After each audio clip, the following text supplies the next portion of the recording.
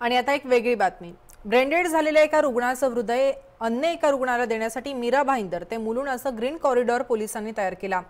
या ग्रीन कॉरिडॉरमुळे अवघ्या अकरा मिनिटात तब्बल वीस किलोमीटरचं अंतर कापणं रुग्णवाहिकेला शक्य झालं.